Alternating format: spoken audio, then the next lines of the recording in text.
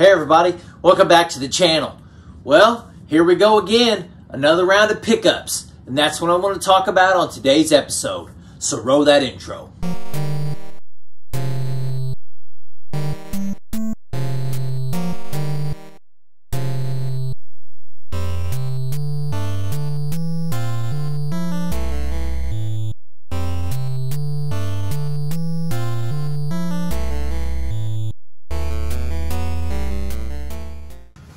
All right, guys.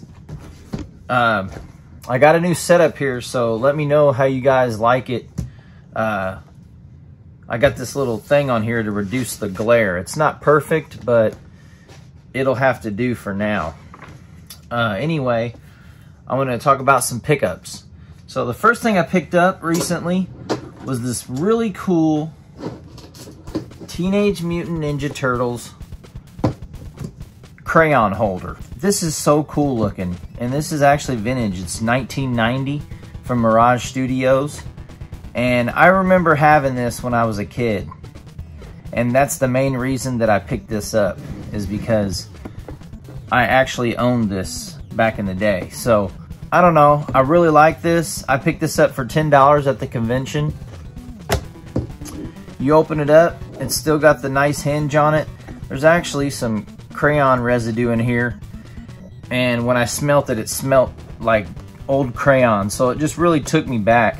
But you can put anything in here, uh, extra weapons for your Ninja Turtles, or hell, you can even put G.I. Joe weapons in here. But this is actually in pretty good shape. So uh, yeah, I picked this up for 10 bucks and it makes a cool display piece. I'll probably uh, put it with all my other Ninja Turtle stuff and just display it. So uh, let me know if you guys ever had one of these. And it has this like sturdy handle on it. And I always like that. Like just think carrying this around in school, man. You'd, you'd be so cool looking, you know? So yeah, the uh, Teenage Mutant Ninja Turtles crayon holder. But a lot of people use these for, you know, anything school related. Pencils, markers, color pencils, crayons, hell, anything. So I like it. It's pretty cool. The next thing I picked up was some Batman cereal. Th this is actually really cool. This thing is almost bursting at the seams with cereal. And this is actually uh, vintage also. If you look on here, it actually says DC Comics 1989.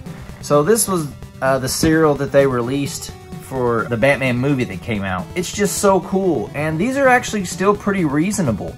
I think I picked this up for, uh, I don't know, like 20 bucks if you could feel how heavy this is, I mean, this, I've seen bags uh, outside of this box and they're filled up to here. I mean, it's incredible, you know, how much cereal came in these. Now you get a box of cereal and it's probably filled to like right here, right here, and the rest is air. So, and, and there's a bunch of different versions of this box. And this is the uh, Win a Batmobile. So look at this kid, man. He's just like driving around in a cool ass Batmobile. And it says free inside, mini toy Batmobile. So inside the box, you get a free Batmobile. And if you turn it around on the back, you could actually win one. I mean, look at this. Look how cool this looks. Win a Batmobile. Look inside this box.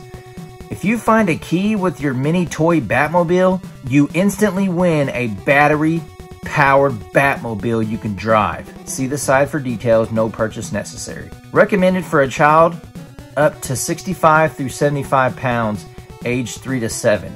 So if you're a three-year-old and you weigh 65 pounds, wow. But anyway, look at this little kid. He's all hype. He pulls out his, you know, Batmobile and look at this. Like, this dude right here is mad jealous because you see his arm and she's like holding it.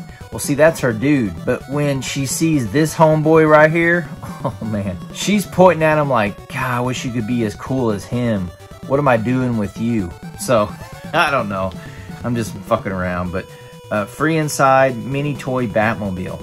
You'll have hours of fun with this cool toy Batmobile, just like the one in the movie. Race around with your Batmobile as you track down the criminals of Gotham City. You know, this is just so cool. And it tells you how to enter the the, uh, the sweepstakes and you know, the rules, no purchase necessary, how to claim your prize. I wonder if anybody actually uh, claimed that Batmobile. That's really cool. And I love how it's like costume not included. Like somebody would, you know, ride in and be like, well, I got my Batmobile, but you guys fucked me on the costume. You didn't give it to me. So I don't know, just a really cool piece. I'll just display it uh, in my game room. Natural honey nut flavor. I actually had this back in the day and these pretty much just tasted like plain Captain Crunch. On the bottom of it's really cool, so it actually shows a, the bat symbol. And at the top it shows it too. So there you go, the uh, Batman cereal based on the original 1989 Tim Burton Batman movie.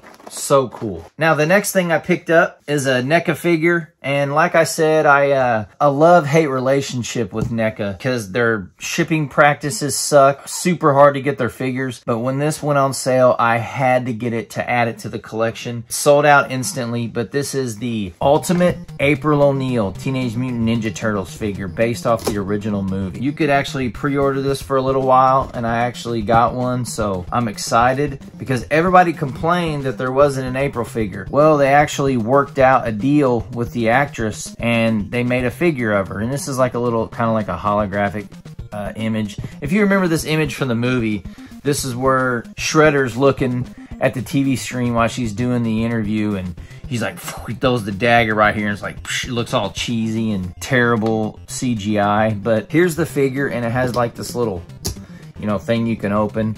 Uh, here's the top of it. And I don't really, I like the packaging, but I really don't care about it because I open up all these uh, Teenage Mutant Ninja Turtle movie figures. So let's go ahead and open it up. And there you go. Uh, she's got an actual swappable head. She's got her purse, a microphone, which is cool. And one really cool thing I think they added was the sai. Because if you remember in the movie, uh, she actually found Raphael's sai. Been waiting for you, Miss O'Neil.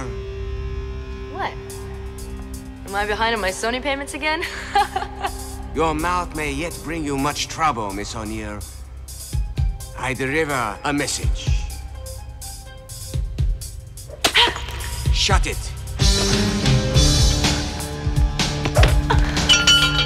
Super cool. So you can actually put that in her purse and, you know, reenact scenes with the foot soldier. There's some pizza boxes up here too. And she has interchangeable hands. Since she has high heels on, uh, these are one of the few figures that actually come with a stand because she really wouldn't stand well, I'm guessing. They finally gave her a stand. I think it actually resembles her pretty well. A lot of people complained about her knee. So if you look here, like this is the actual figure and it just looks ridiculous. So I've seen people make customs. Uh, they give her like leggings, cover up that weird looking knee thing she has going on. But uh, here's the figure. Uh, has a nice little picture on the side here. And on the back is uh, shows her in some different poses which honestly looks really great. And it says April O'Neil. Now you can catch America's favorite green teens in their first live action blockbuster film.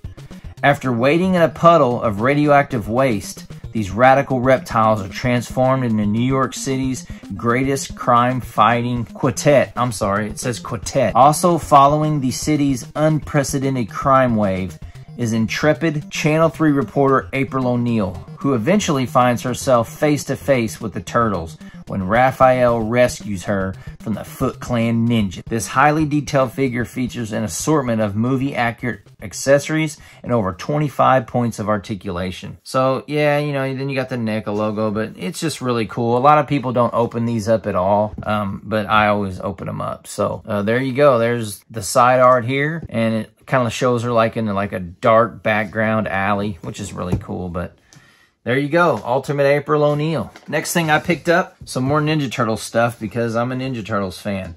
Now, I actually had this too when I was a kid.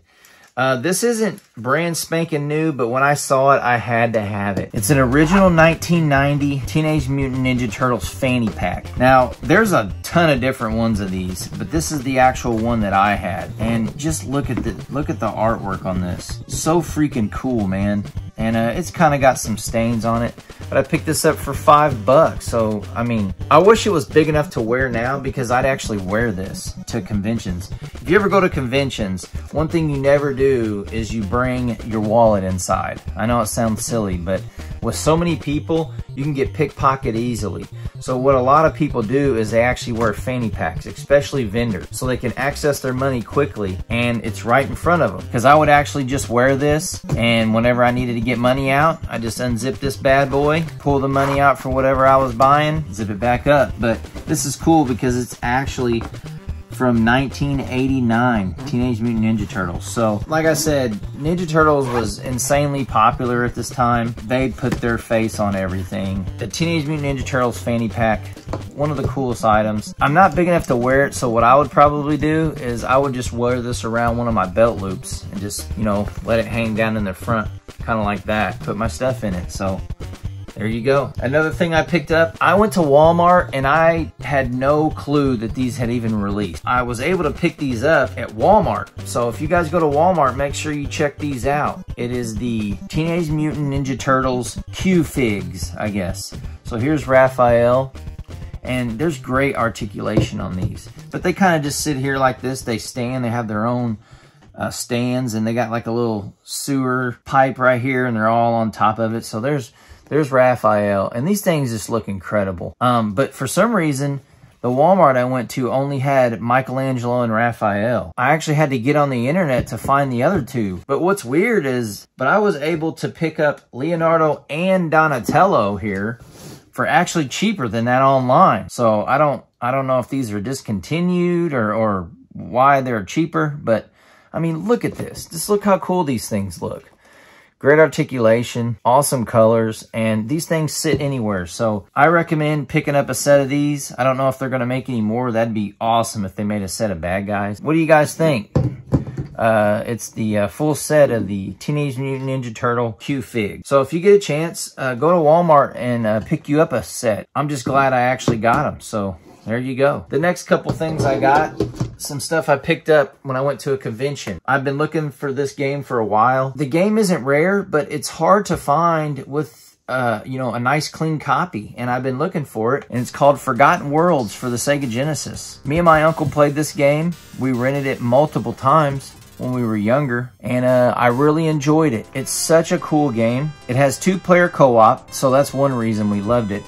But I picked this up at the convention for a great deal. And I actually bought a couple other things from them, but I'll show those off in a different video from the same vendor I picked, but I picked this up. The uh, Forgotten Worlds 16-bit Sega Genesis cartridge. Now this is an earlier title and you can tell by the uh, grid pattern. Uh, a lot of the early Genesis titles had this grid pattern and people always call it, you know, the grid pattern Genesis games. Later on they switched to red and all kinds of other stuff. But I really like these original uh, grid style uh, artwork on the uh, boxes. So it's complete and it's in really, really good shape. So if you've ever played this game, I'm sure anybody that's my age probably played this game back in the day. So it has the manual, pretty clean. I mean, there's a little bit of wear and tear, but not bad at all. Shows the controls, you know, I, I just miss I just miss this, you know, looking at these. These are just non-existent, you know. So 1989, Sega of America. So cool. And usually in these manuals, it would show the different worlds and the scoring. I mean, just so cool, man. Shows all the levels, what everything does, and all your power-ups. Forgotten Worlds for the Sega Genesis. Nice, clean cartridge. And as soon as I seen it, I was like, well, that's coming home with me. So, Forgotten Worlds for the Sega Genesis. Such a cool game. If you guys get the chance, check it out. Now, the last thing I picked up was a Super Nintendo game. the memories that I have with this game. My cousin Travis used to own this game, and uh, we played it. And it's weird because I'm not a huge sports so when he bought this and we played it, we was immediately hooked. And it's Ken Griffey Jr. presents Major League Baseball. This game is so cool, first of all. Ken Griffey Jr. is on it, and it comes with the free collector baseball card. But I'm not going to get everything out, but it is complete. But I will take it out of this little thing in case there's a glare. So uh, I picked this up, and I mean, just look at it. Such a cool, I mean, God, I just wish they made boxes like this still. This thing's actually pretty clean. I mean, there's a little bit of wear and tear, but not bad. Not bad at all. So, uh, yeah, Ken Griffey Jr. Baseball. One of the best baseball games for the Super Nintendo. I mean, and the crazy thing is, is um, people think it's either this game or, you know, Ken Griffey Jr. Winning Run, which is the sequel. Ken Griffey Jr. was definitely uh, very popular in the early 90s. So um, he got his own game. Fun game. Uh, me and my uh, cousin Travis used to play this game all the time. One little tidbit about Ken Griffey Jr.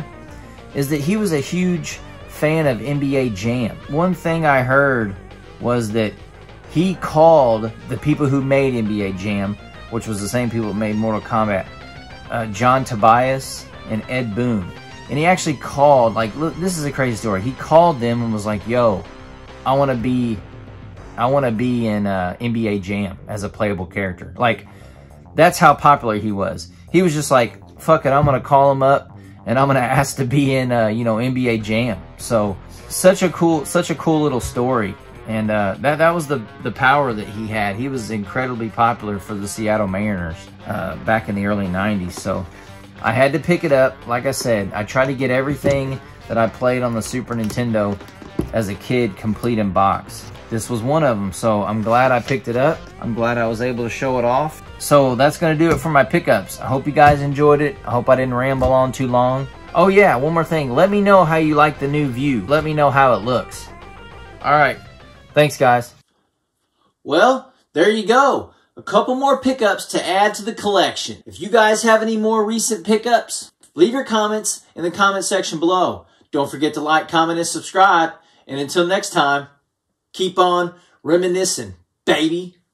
Hey guys, what's going on? It is Joel here, and welcome to Back in the Day.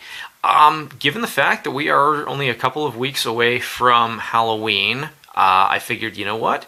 I'm going to go ahead and do my unboxing today of the very, very iconic uh, Castlevania for the Nintendo Entertainment System.